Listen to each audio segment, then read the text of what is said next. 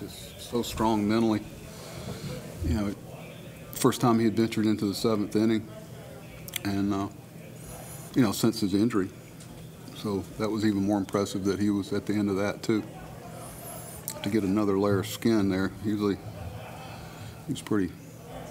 I, love a guy at 38 that's done the thing he's done throughout his career. He's 38 officially today, and still has that zest and and love of competing at- the best level in the world.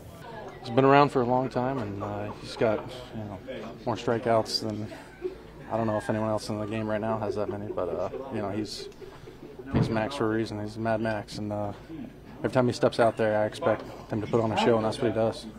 You know, when you got 40, 50,000 fans screaming, it doesn't matter what the situation is, your adrenaline's always going to pump in those situations. So um, I love pitching in these situations. I love pitching in, in this atmosphere. Uh, you know, you got to want the ball in, in these type of moments, and, and you got to go out there and face the best. I'm glad the Yankees, you know, you, you know this is, you know, they're, they're obviously one of the best teams in the AL for a reason.